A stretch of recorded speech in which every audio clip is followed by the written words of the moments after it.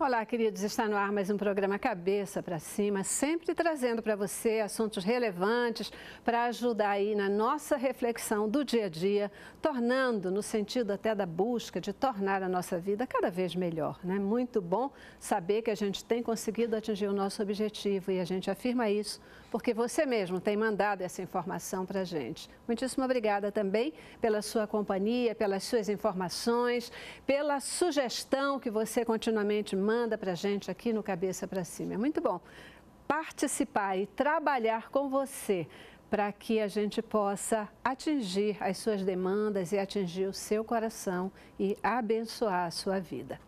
Nosso registro também de agradecimento vai para o nosso querido semeador de boas novas que nos acompanha, que tem a visão correta daquilo que fazemos aqui, sabe que, seja qual for o tema que a gente fala, essa é uma forma da gente também falar do amor de Jesus. Por isso, você, semeador de boas novas, tem orado pelas boas novas, tem contribuído financeiramente com aquilo que você pode, e é assim mesmo, com aquilo que você pode, para que nós possamos estar no ar 24 horas por dia sete dias por semana. A gente sabe que não importa o valor da sua contribuição, quem vai agir com isso, quem vai multiplicar esse valor é o Senhor Jesus.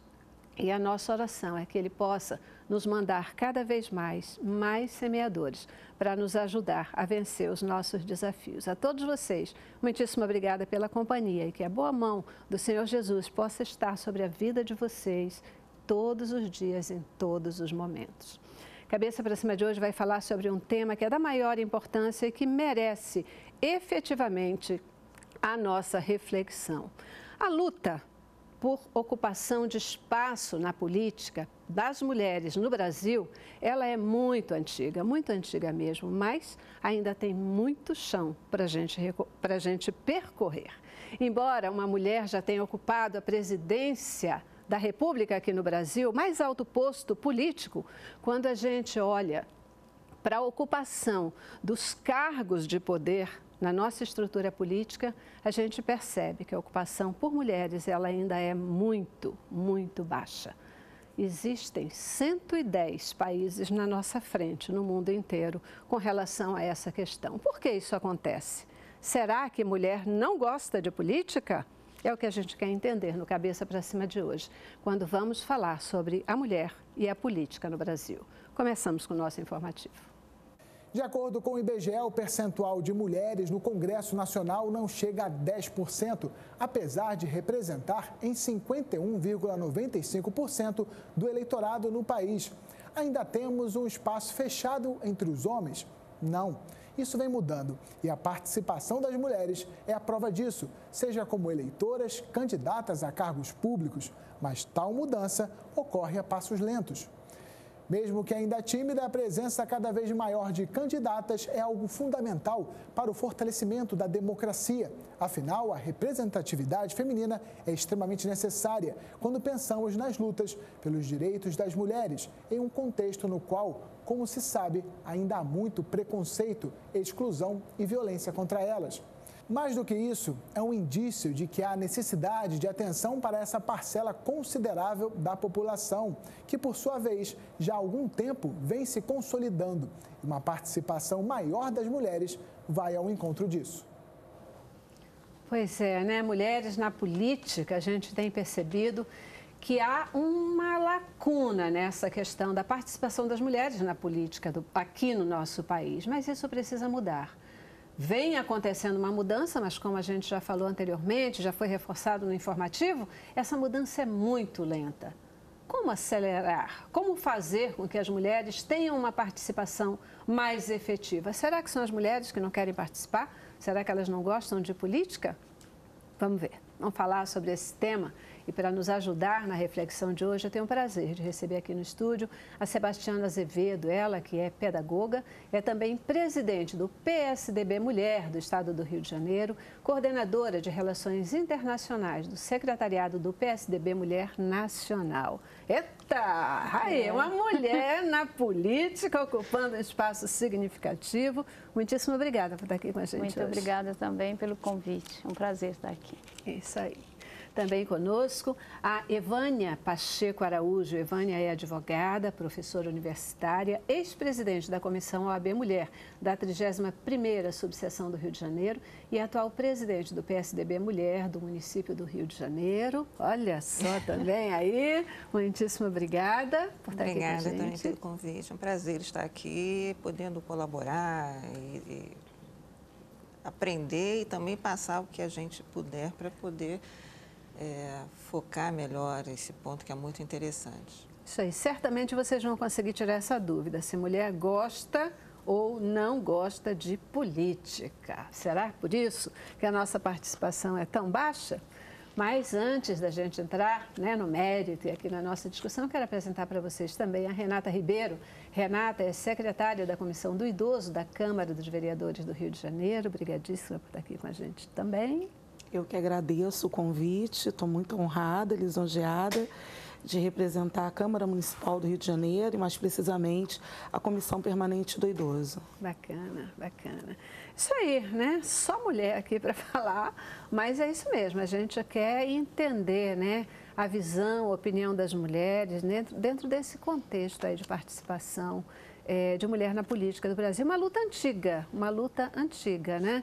É, é, a gente consegue precisar desde quando que a mulher vem buscando aí participar da política e é, por que, que esse negócio não vai para frente? Pois é, a questão da, da, mulher na política ela é realmente antiga. A primeira mulher a participar de um processo político foi em 1880, 1890, por aí. E o primeiro voto feminino no Brasil foi há 80 anos. Quer dizer, nós Loucura. temos pouco, mas muito pouco tempo na participação da, no processo político. Uhum. E as barreiras, elas são muito grandes, porque isso é um processo cultural que nós temos que desconstruir para construir um novo processo cultural. Verdade, é? verdade. Então, a gente tem que, realmente, temos uma luta, é uma dificuldade, são entraves ao longo da história, não é de hoje, basta ver que em outros países o processo, até no, no país considerado mais desenvolvido do mundo, teve que ter uma revolução de mulheres, que as sufragistas começaram lá na década de, no ano de 1850, por aí, então, uhum. que traz lá uma luta onde as mulheres falaram, se nós não tomarmos a frente dentro dessa fábrica, nós não vamos fazer nada. Então, Verdade. começou por aí também como modelo para a gente dar um, um, impulso no nosso processo aqui no Brasil, que ainda está bastante lento. Né? Verdade, né? 80 é. anos é muito pouco É, tempo. foi em 1930. É, pouco tempo. É, nós temos é, registrado em 1928, foi a primeira prefeita, né? Primeira prefeita. Que foi eleita através do voto. Porém, em 1930, com a Revolução é, de 1930, por ela discordar de alguns posicionamentos né, políticos do então nosso presidente Getúlio Vargas, ela perdeu o mandato, né? Uhum. Então, quer dizer, desde lá já era uma briga também constante por questões mesmo de discordância em alguns pontos, ela simplesmente perdeu o mandato, né? Uhum, uhum. E a luta continuou até 1932, 32, né, quando nós tivemos a edição do nosso primeiro código eleitoral que as mulheres tiveram direito facultativo ao voto, que ainda era facultativo, né? facultativo né? Facultativo. facultativo. É. é. tipo assim, é aquelas é. que forem politizadas é. e que entenderem que se podem votar, né? Quer dizer, não era nenhuma coisa de dizer é um direito da mulher, mas é, é mais ou menos. Bem facultativo. Tipo assim, tipo assim, um cala-boca, toma aqui para é, vocês, né? para não reclamarem é, muito. Né? Isso Apesar desse, desse dessa questão histórica né, da mulher em relação à política, nós gostamos muito de política, porque a, a, política que a mulher faz, ela começa dentro de casa. Primeiro ela começa dentro de casa, quando a gente já está dando orientação aos filhos, quando a gente vai à escola pleitear um direito de um filho nosso, nós já estamos fazendo política. Verdade. A política está inserida na mulher desde que ela nasce não é? Tanto que nós vemos muitas associações de moradores presididas por quem? Por mulheres, não é? A direção de escola, quem são a maioria das direções de escola são feitas por mulheres. E isso é política. Verdade. Isso é política pública também. Porque quem é o público? É a população, do modo geral. Então, nós estamos inseridas na política, sim. Muitas das vezes, nós não estamos sendo vistas, mas nós estamos lá. Pois é, né? Mas parece que a gente vai perpetuando aquela coisa de. Sabe a história de por trás de todo, de todo grande homem tem uma mulher? Por trás. Por trás, por, por trás, trás, né? Porque por se as mulheres elas gostam da política, elas se inserem é, em, em cargos, né? Em diferentes situações na sociedade. Mas ainda é fato, quando a gente olha a estrutura de poder, de poder. do nosso país, né? Os três poderes, você vai ver, a gente ainda se surpreende Assim como a gente se surpreende, ai, um ministro negro, ai, uma ministra mulher, ai, não sei o quê. É, é, é, é, é no último, na última formação né, de, é. de, de, mandato aí, de, de corpo uhum. no, de, político no país, de repente não tinha nenhuma mulher. Teve que se gritar para dizer, aí veio um paliativo de colocação de uma mulher, né? De uma maquiagem. É, é, é. Ou pelo menos dizer, ai, poxa, foi politicamente incorreto, então deixa eu colocar uma mulher lá. Embora eu acho que o cargo, nenhum cargo tem que ser preenchido com base em sexo, Exato. tem que ser Não. com base em competência. competência. Mas a gente vê que as mulheres parecem que ainda são deixadas de lá, não são pensadas. Os homens criam essa barreira, vocês estão inseridas na política, vocês fazem parte aí, né, de partidos políticos, inclusive. Os homens criam barreiras para a participação das mulheres? Criam. São os primeiros a criarem as barreiras, né? Na realidade, como a Renata colocou, as mulheres elas são sim politizadas, cada vez mais elas estão se inserindo nesse contexto. Porém, por conta até do nosso sistema patriarcal, elas não se conscientizam que elas têm capacidade, que elas, elas podem, podem, ir além, ir né? além né? E a barreira masculina acaba intimidando também as mulheres. Então, elas acabam se posicionando sempre no segundo plano. E aí acontece como aconteceu, que as mulheres foram esquecidas, né? Até que começou a gritar, então, ah, vamos colocar ela numa secretaria, né? Enfim que é o que aconteceu atualmente, mas por conta dessa questão, elas não são olhadas como pessoas que são politizadas e são capazes, né? Sempre são os homens que são os primeiros a serem olhados, aqueles que a princípio são capazes de ocuparem determinados postos, quando na realidade não, a mulher está aí cada dia mais é, interessada, tendo consciência de que ela é capaz sim.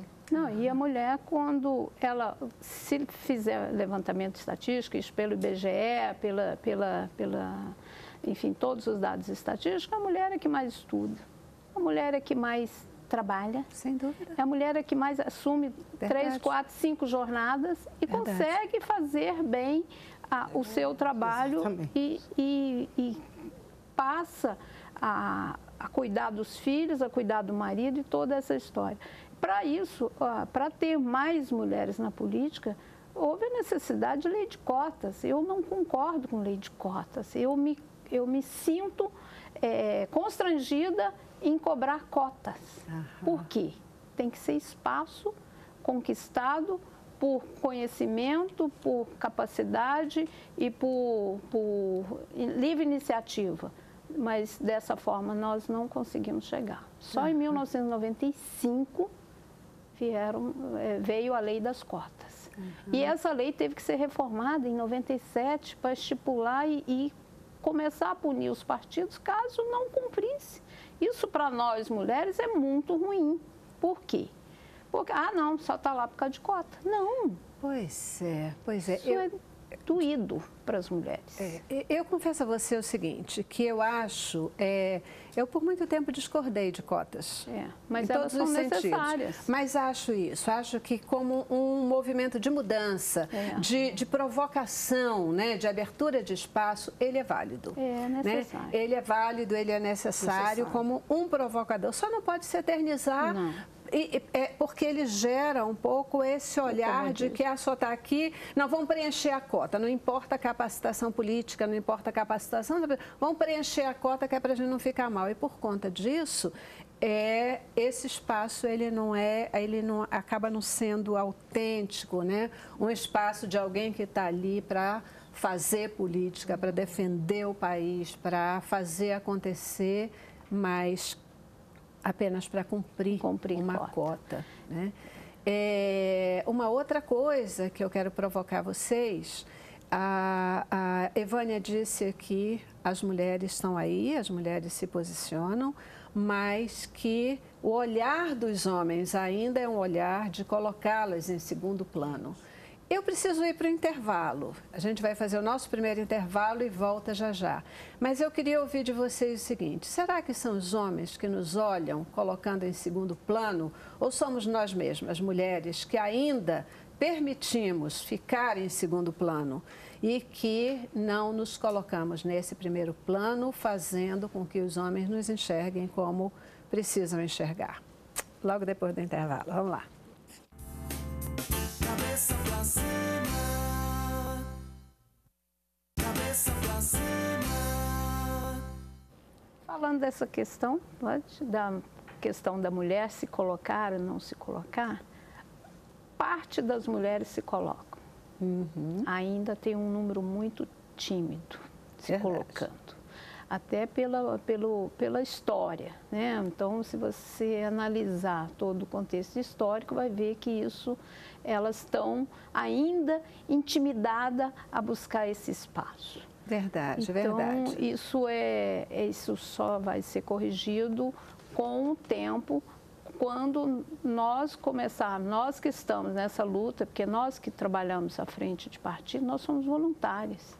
É um trabalho voluntário que nós fazemos, tanto nacional, estadual e municipal, no, na questão de trazer, de buscar e de tentar fortalecer as mulheres e mostrar para as mulheres que elas são capazes.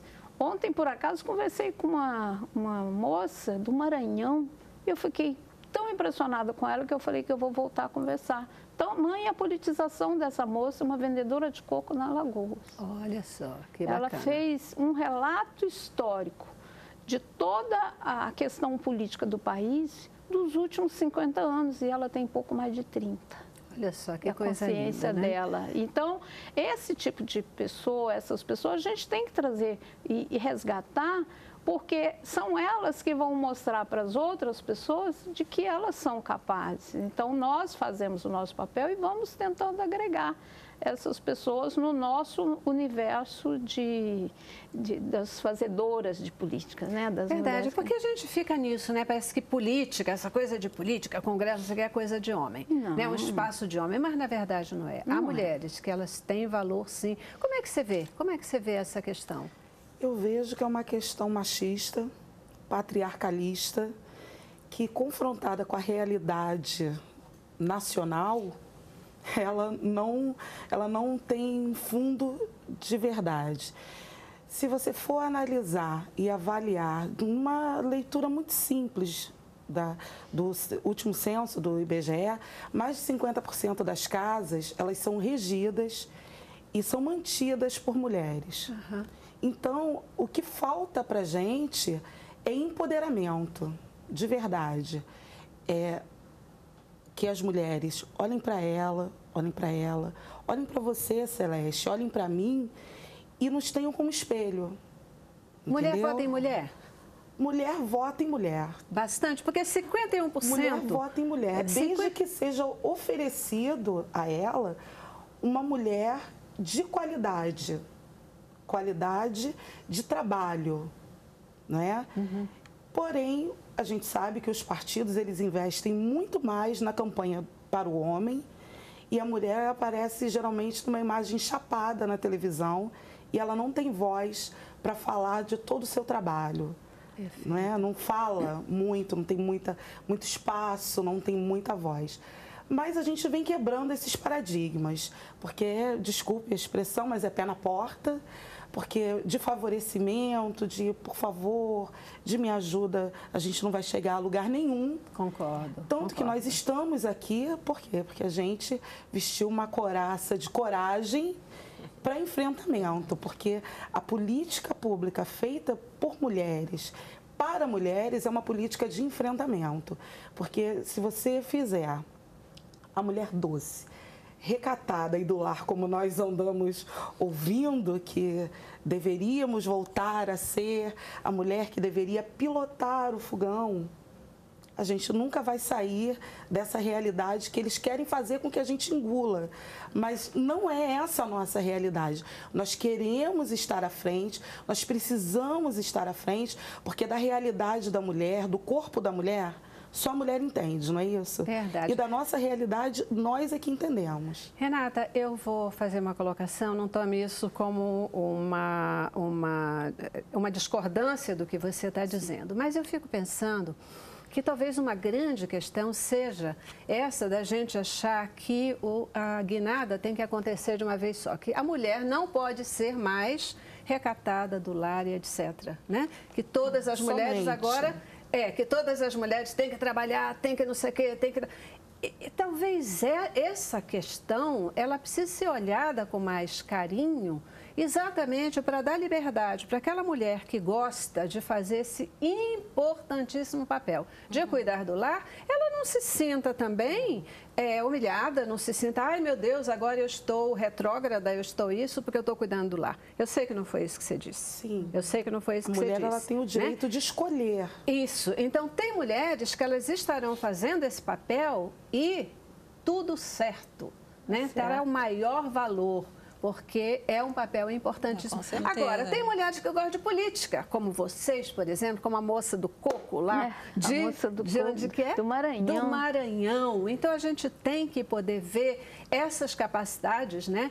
E fazer com que ocupem posições e sigam em frente. Eu acho que é isso que vai fazer. Essas coragens, Cora... né? Exatamente. De sair do seu lugar Exatamente. e avançar. E avançar, é. e avançar. A gente diz, né, 51% das mulheres, 51,7% dos eleitores são mulheres, né?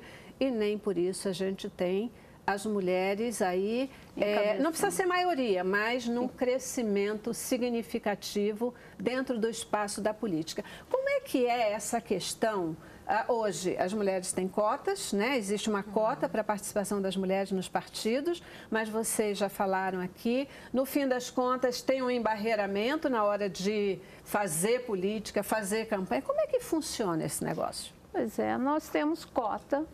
A, a lei diz cota de gênero. Não é cota de 30% para mulheres, 70% para os homens embora isso seja a prática hoje, em função da pouca participação, da pouca adesão da mulher no processo. Uhum. Né? Então, isso precisa ser construído ao, ao longo do tempo para que, haja, que essa diferença diminua. Então, nós temos cota de, financi, de financiamento. Então, por exemplo, o TSE determinou numa resolução que 5% do fundo partidário tem que ser investido nas mulheres. Do contrário, as mulheres não teriam investimento, exceto um ou outro partido que tivesse essa, essa premissa no seu escopo de trabalho. Ah, então, é. o, o, imagina, nós estamos hoje com 30% de cota para mulheres serem candidatas e nós temos 5% do orçamento. Olha que distorção. Verdade. Como é que você forma 30% para ter mulheres é, participando do processo, para dar formação, para trazer, para oferecer condições para que ela possa estar tá, tá desenvolvendo e, e, atuando dentro do processo, se a sua, o seu percentual hoje, que a gente considera bom porque nós não tínhamos nada. Mas, é Mas é extremamente...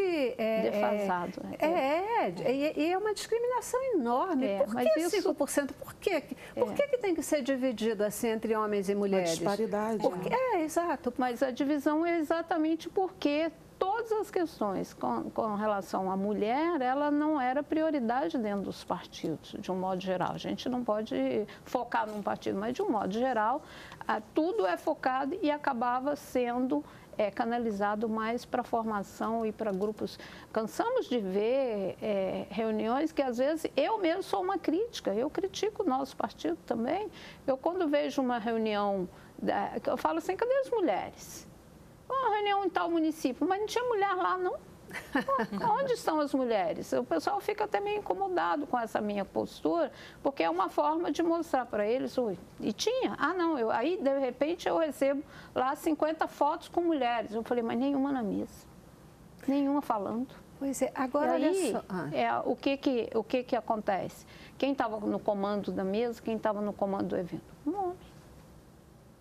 Então a gente tem que mudar isso ter, gradativamente, paulatinamente, não é jogar pedra, não é bater pesado, porque não vai adiantar. Nós temos que aos poucos nos colocar, nós temos que aos poucos e falar, estamos aqui, queremos. É, eu acho isso, que a gente tem que se levantar é. por capacitação, né? Capacitação. Por capacitação, por vontade política, por movimento de trabalho para chegar lá, né? É, é, esse 30%, por exemplo, de cota que os partidos têm, como é que ele é preenchido? Ah, pode passar, se tiverem mais mulheres, pode passar ou não pode passar? Pode. A gente alcança os 30% ou não alcança os 30% por mulheres que se é, é, predispõe, ou que tem vontade de estar na política, ou o pessoal vai lá caçar a mulher para poder preencher, para poder ficar bem na foto. Como é, que, como é que acontece isso? Com muita franqueza, eu vou falar, é muito difícil ter os 30%. Porque as mulheres porque, não, não... Não, é. porque às vezes o trabalho, ele é feito quando você, você começa a pensar que vai chegar um ano de eleição, é que você começa a preocupar com os 30% e nem sempre você consegue preencher esses 30% naturalmente. Você tem que ficar tentando identificar uma pessoa ou outra que tem um perfil, que possa, que queira. De, de última hora, isso não é um partido ou outro, são vários. Tem partido aí que perde a oportunidade de concorrer porque não teve mulheres. Cada mulher que não entra dentro dessa cota dos 30%, são três homens que saem. Uau! Não, isso, isso porque já é aquele costume, a cultura, né, de se ter apenas homens nos partidos. Mas aí as mulheres não estão indo, não estão se. Até não por conta da cultura também nossa. Perfeito. Elas, embora sejam politizadas, mas elas às vezes têm dificuldade de darem aquele passo para irem para os partidos políticos. Uhum. Elas são politizadas, conforme a gente colocou, conforme a Renata colocou, é, uma reunião na escola, são os posicionamentos, ela se posiciona. Mas naquele momento dela abrir para uma vida pública, né, dentro de um partido político, ela já se sente intimidada, ela já encontra mais barreiras e ela já não, não tem aquela atitude, não, eu vou, eu quero, eu encontrei essa porta aberta.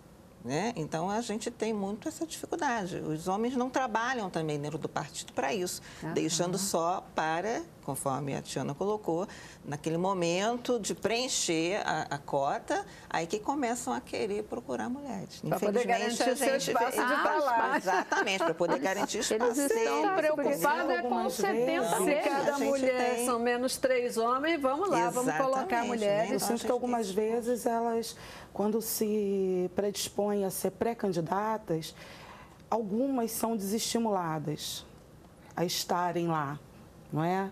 Então são meio que desestimuladas e. O que que desestimula? São desestimuladas porque sempre é mostrado a elas que tem um homem que tem mais capacidade, né?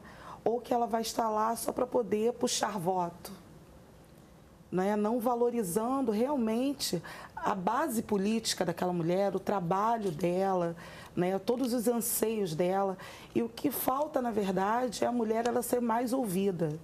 Né, porque causa um estranhamento quando nós, mulheres, temos algum tipo de poder nas mãos. Isso causa um estranhamento, é um choque de cultura, não só é, dos homens para conosco. Mas muitas mulheres também ainda falam, nossa, ela está lá, não é? Mas por, por aquilo que está incutido, enraizado, é, é, são muitos anos que vem isso sendo semeado, regado todo dia, do você não pode, esse lugar não é seu, você não deveria estar aí. Isso, isso é coisa para homem, não é? Então, isso é, é, falta esse, esse espaço de, de, acompanhamento, de preparação mesmo, de preparação de base política, né, de orientação dentro dos partidos de uma maneira mais, mais firme né, de interesse, não quando chega nos 45 do segundo tempo para perder três homens. Veja bem a conta, né? A gente volta lá na questão do machismo, né? É, no 45 segundos, caramba, vamos perder três homens. Então vamos lá, vamos correr, vamos rodar aqui e ali e vamos achar. Né? E cadê o valor dela? Cadê a valoração dessa mulher que deveria ter sendo feita há dois anos atrás? Nós temos o pleito a cada dois anos. Não é? Veja que é um processo assim extremamente é, pouco construtivo, né? É. E que ele por si só elimina essa possibilidade de crescimento e de participação. Na verdade, assim, é, a gente fica aqui falando e, e, e, considerando a participação da mulher na política, não porque agora a mulher tem que estar na política, porque tem que ter mais mulher do que homem, não é nada disso, não. mas é porque é um espaço que a gente precisa compartilhar. É, é, compartilhar, precisa entender que é também um espaço para a mulher, sim. Né? Como todos os a mulher pode estar em qualquer espaço. Nossa. Ela pode estar na direção de empresa, ela pode estar na direção do seu lar, ela pode estar na direção da escola, ela pode estar é, na direção de qualquer posição política. Isso no nosso país com total competência. E nós precisamos ganhar essa, essa consciência, batalha, né? né? É. A gente precisa ganhar essa consciência. Veja que, na medida em que é, na, nos cinco minutos finais do segundo tempo, né? Uhum. É, se, se sai procurando uma mulher para preencher uma cota, nessa hora não vai se olhar preparação. Não. Exato. Não é? Não vai se olhar preparação. De repente vai, eu vou chamar uma. Não, não quero chamar qualquer uma. Vai uma, uma pessoa que não tem condição. Não é o... é. Às vezes não tem o dom político, Isso, não tem é. essa, não né, é, é, esse dom, essa tendência. E aí por óbvio, ela não vai fazer um bom trabalho. Com certeza. Vai ser mais uma. Vai ser mais poder uma. preencher Exato. alguma e, coisa. E aí vai reforçar o conceito de que política não é coisa não é de mulher, mulher, mas que é uma coisa que a gente quer quebrar. Tá é, tá certo? mas eu, eu sou muito otimista por natureza e de, desde a infância. Eu sempre acredito que a gente vai estar, cada passo nosso vai dar um resultado positivo. Eu vejo com muito bons olhos o trabalho que alguns, alguns porque eu não acompanho todos, nós, nós temos mais de 30 partidos no país, alguns partidos estão fazendo com relação a essa inserção da mulher. É muito tímido, mas é muito promissor. Eu falo pelo nosso, posso falar de cátedra, porque eu participo da Nacional e nós temos feito um trabalho bastante intenso com relação às mulheres. Tá, Sebastiana, eu preciso ir para o intervalo. Tá? Eu vou para o intervalo e a gente volta no próximo bloco. Eu queria entender com vocês exatamente. Eu também sou muito otimista. Isso. Eu acho que a gente está vivendo um processo, um processo de mudança, onde fazer o que a gente está fazendo aqui, falar sobre isso, falar sobre a importância de nós mesmas mudarmos a nossa cabeça e conhecermos a nossa força e buscarmos e ocupar esses espaços faz parte desse processo de Com mudança. Certeza. Então eu vou para o intervalo e eu volto. Eu queria entender o que, que os partidos políticos estão fazendo de forma séria para garantir esse empoderamento Perfeito. da mulher. O que pode ser feito? Como é, trazer a mulher para esse espaço da forma que a gente quer, com competência, com trabalho, com seriedade e é, com é, total possibilidade de fazer diferença efetiva na política do nosso país. Tá Ótimo. Tá bom? Então vamos lá. Vamos lá. Cabeça pra cima.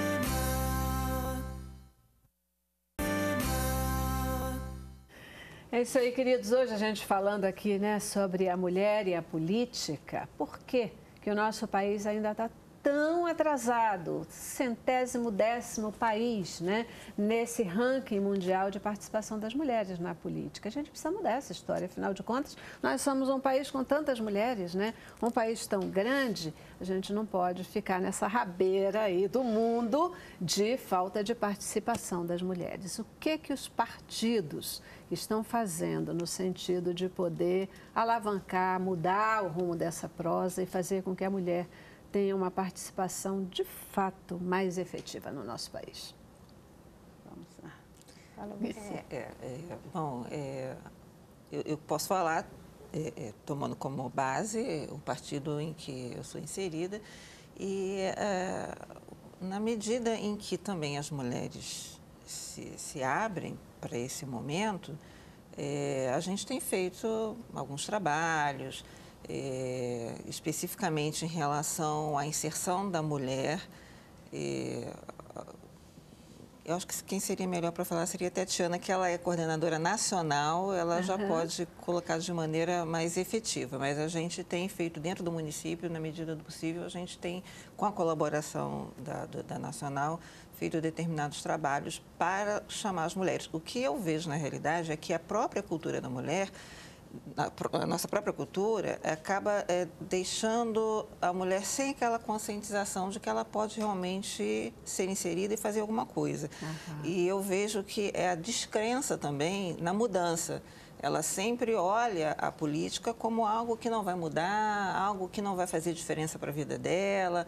É algo que só está lá quem realmente quer tirar proveito próprio. Então, eu vejo muito essa situação tanto aquela inibição por conta do, da, da, da, dos próprios homens, né, por conta desse nosso sistema patriarcal, e por conta também dessa falta de, de, de crença ah. E aí ela já não prioriza, né? Ela prioriza as coisas, outros tipos de afazeres, né? Não só os afazeres domésticos, como os afazeres profissionais. Se dedicam à academia, do ensino, e vão fazer cursos, e, e, e sempre deixando para o segundo plano a inserção dela na vida política partidária.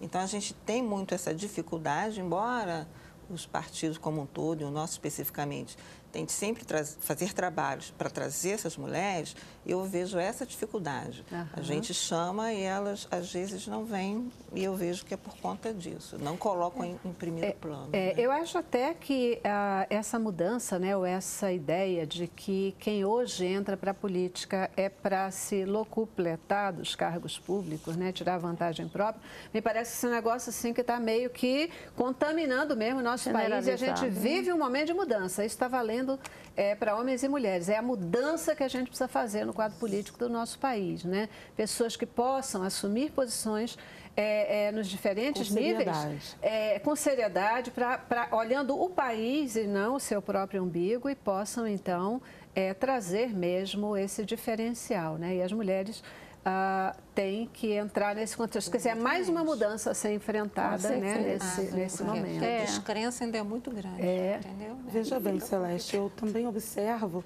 que quando uma mulher, independente de qual partido seja, tá? Uhum. independente de ser do PSDB, ser do PRB, o partido que eu também eu sou, sou ligada a ele, independente de qual partido seja, quando cria essa representatividade, as outras mulheres elas começam a ter o interesse né? Porque ela começa a, é, a, observar o trabalho que aquela mulher ela vem realizando. Então, quando ela é um, um, bom político, quando essa mulher ela leva a sério a política que ela está fazendo, que ela tem bom, bons projetos de leis aprovados, que ela é combativa, combativa não é porque ela pega o microfone e vai, vai gritar, não. não. não. ela é combativa porque realiza, ela vai, né? Ela realiza. Ela é, faz. É, sobre, eu estou falando sobre fazeres porque ela, ela detém os saberes e ela vai realizar mesmo, então gera nas outras, volta a, falar no espelho volta a ter aquele espelhamento do, do falar assim, não, se ela pode, eu também posso, Sim. se ela faz, eu também eu posso fazer, se ela realiza, eu vou realizar, porque eu quero realizar. Se ela chegou lá, eu também chego. Perfeito, eu acho não que é? é perfeito o que você está colocando, porque é isso. Não, peraí, esse espaço é para mim também. Também é né? para mim. Esse espaço é para mim eu também. também posso. Eu também posso estar tá lá. Eu tenho competência, sim, para estar atuando nesse espaço político, né? É muito bem colocado, eu é. acho que é isso mesmo. E eu como eu tava, comecei a falar no bloco anterior, até antecipando. sem problema, é, sem problema. Eu, eu vejo e acompanho alguns, alguns algumas capacitações feitas, sobretudo dentro do nosso espaço, porque cada um tem o seu espaço, mas os, o, cada um está fazendo da sua forma, é, tentando fazer exatamente trazer. Então, nós fizemos esse ano muitas capacitações, nos anos anteriores também muitas capacitações, fizemos um diferencial no nosso contexto nacional. Uhum. Claro que regionalmente, às vezes, algum estado ou outro precisa investir, falar uma próxima gestão nossa, nós temos que fazer esse estado, procurar saber o que, que houve com esse estado, por que, que não melhorou, por que, que não modificou e dar capacitação, trazer essa mulher para o que, ela, que a Renata falou, para o empoderamento, dar, dar noção para ela do espaço que ela pode ocupar. Então, nós fizemos três bons esse ano, com apoio até de uma fundação que não é brasileira e ela nos apoia todos os anos e, ela é focada nessa área de, de capacitação, de empoderamento, na área política. E isso ajudou muito o nosso trabalho, uhum. porque nos deu muito suporte para que nós, do, da Nacional, pudéssemos amparar os, os, os, estados, os municípios. A Ivânia sabe, eu sou uma pessoa, sou itinerante. Eu, de repente, eu acordo e falo assim, hoje eu vou em tal lugar. E ligo para a pessoa que está fazendo hoje. Podemos conversar? Vou lá no município dela para conversar, levo material, falo, oh, eu recebi esse material, isso é importante, carrego na minha mochila. E a gente vai trabalhando meio que de formiguinha, mais compactado para que melhore e, e, traga mais mulheres para a política. O que, que, é esse processo de capacitação? O que, que vocês, quais são os pontos que são desenvolvidos ou trabalhados nesses processos Ó, de capacitação? Esse ano, vou falar específico desse ano. Esse ano nós fizemos três bons cursos é, de capacitação focado nas pré-candidatas, uhum. nas pessoas que estavam lá é, dizendo que viria candidata e que, que, seria candidata, porque nós começamos em janeiro. Em janeiro, às vezes a pessoa fala, eu vou ser candidata, eu quero ser candidata, e quando é, chega lá em, na época de definir, ela não é, mas ela foi capacitada uhum. para a política. Uhum. Né? Então, nós fizemos um para dar uma noção de cultura, do feminismo profundo, a cultura de paz, estudar um pouco o comportamento dos homens, estudar um pouco o comportamento. Eu trouxe até um, um, um exemplar, um pouco o comportamento das mulheres ao longo da história, começando lá na época do, do, do, do início da, uhum. da história da humanidade. Uhum. Então, isso foi muito, muito bom para fazer. Nós, isso aí foi muito focado nas pré-candidatas a prefeitos e vereadores. Uma, uma, mulher que ela queira entender mais desse mundo, mesmo que ela não queira ser candidata ainda, pense, hum. não, não quero ser candidata, mas eu queria entender mais desse negócio. Pode participar, pode, ser, pode, pode.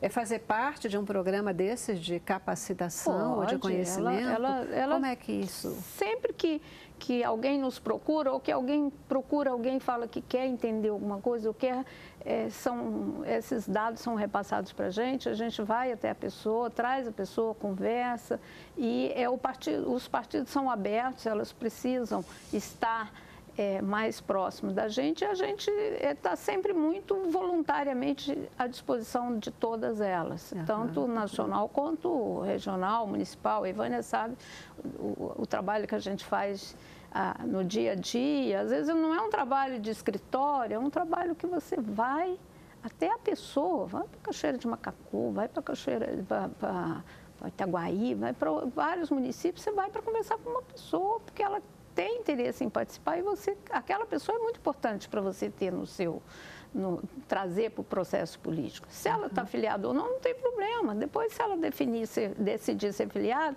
ótimo. Se não, ela está capacitada para fazer um trabalho depois no dia a dia e, e ver que ela pode. Uhum. Né? Quais são assim, os fatores que vocês consideram importantes da gente poder, é, da mulher estar na política, estar mais envolvida com a política? Qual é a importância disso, da gente crescer esse número de mulheres na política, participando da política? Eu acho que um ponto importante, não querendo é, dizer que os homens não se preocupam com as causas das mulheres, mas um dos pontos que eu vejo de importância é o mesmo direcionamento em prol de algumas questões que são mais ligadas às mulheres. Né? Porque nós temos certos é, pontos, certos caminhos que só mesmo uma mulher tem capacidade para entender. Né? Uhum. Vou colocar aqui uma questão pontual, que a gente tem debatido muito. Por exemplo, as questões das, das mães que precisam trabalhar e não têm onde deixar os seus filhos. Uhum. Então, quando a gente vai estudar esse posicionamento, para o homem que normalmente, mesmo quando ele mora com a família, que mora com os filhos, normalmente é uma atribuição que fica para a mulher. E hoje nós temos um grande número de mulheres que são as, as mulheres que são aquelas que é, é, sustentam seu lar. Uhum, uhum, são a, a, mãe de família, uhum. né? Então, ela está ali cumprindo o papel de mãe, de pai, está trabalhando para sustentar os seus filhos e ela precisa sair para trabalhar, mas precisa deixar o filho guardado. Claro. Com pessoas, numa creche, ou, precisa deixar o filho guardado. E aí, como fazer? Então, os homens não têm essa percepção. Né? Então, é um, uma situação, dentre várias, onde as mulheres precisam estar unidas para trabalharem juntas, pensando nessas saídas.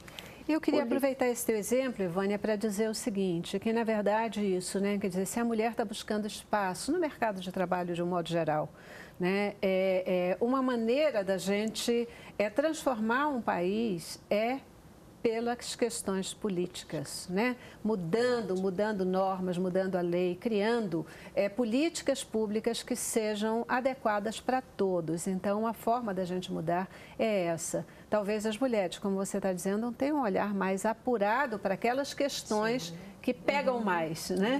Para que essa mulher possa sair e ocupar um espaço no mercado de uma forma geral. Então, a gente precisa se envolver com essa política, a gente Sim, precisa fazer parte é, dessa questão, né? Talvez se Ser nós... agente de transformação, né? É. Perdão. Talvez se nós tivéssemos um quantitativo maior de mulheres, não teria sido aprovado que amamentar em público está é, tá errado. Né? Nós sempre amamentamos em público é Como alimento, é que é? Amamentar, é amamentar. Em público? É, é, proibido? Foi, foi proibido. proibido. Hoje já pode. Ai, né? Foi proibido durante é. determinado Hoje já pode. Hoje então, não... assim, é, são criadas, criadas leis sem fundamento. No, é, por exemplo, uma, uma, teve um caso de uma, quando estava em voga isso, uma senhora, uma jovem senhora, amamentando sua criança numa praça de alimentação do shopping. A praça é de quê? Alimentação. Se é um bebê Só de para colo, adulto, bebê não pode se alimentar. Ele estava fazendo o quê? Se alimentando. Não havia caráter nenhum de nudez, não era nada disso. Era alimentação de uma criança. Então, assim, nessas questões assim simples, coisas que às vezes a pessoa olha e fala assim, ah, isso é uma besteira. Não, não é uma besteira, porque da mulher, eu volto a dizer isso, eu sempre repito isso, da mulher, quem entende é a mulher. Eu... É, é, eu, eu, preciso ir para o intervalo. Eu preciso ir para o intervalo, a gente já estourou bastante o nosso tempo. É, é, e assim, eu vou para o intervalo e a gente volta para os nossos comentários finais, na verdade. Perfeito. Os comentários finais, vamos lá. Cabeça pra cima.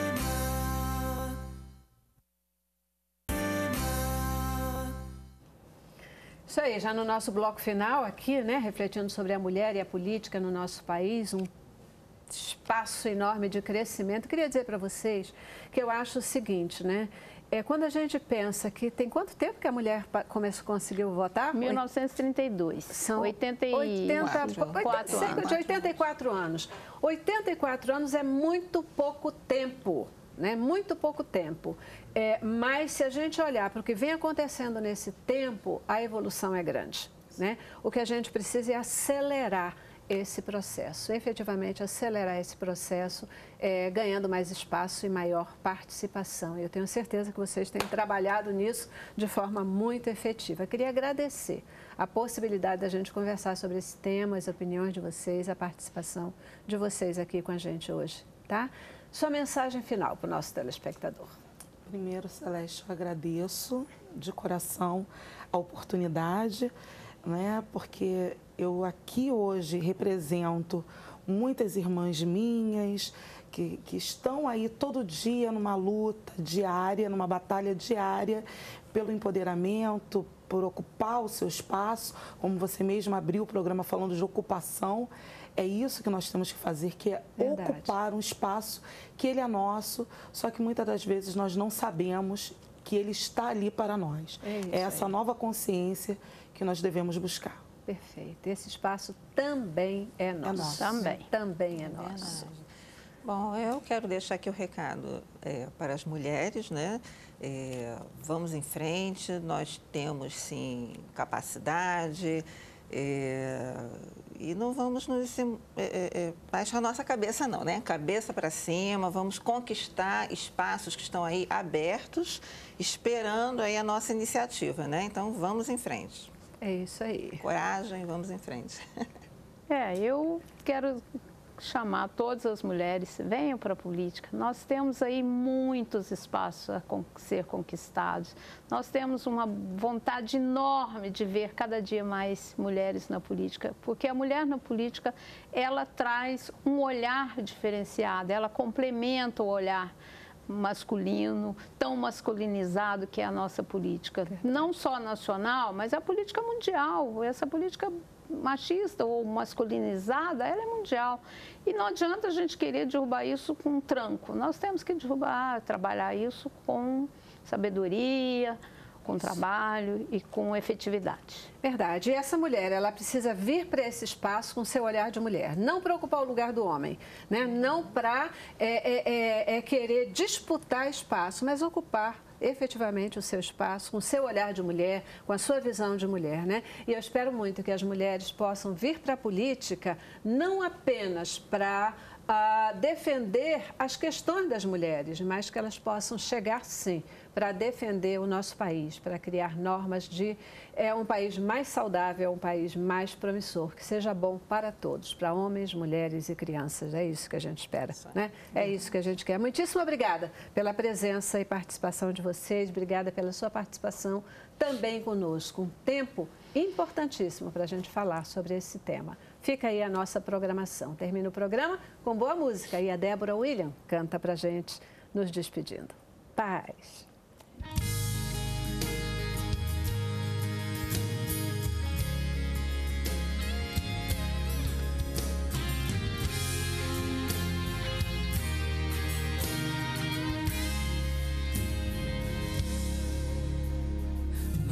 Manancial no deserto, fonte de vida. Estou sedento,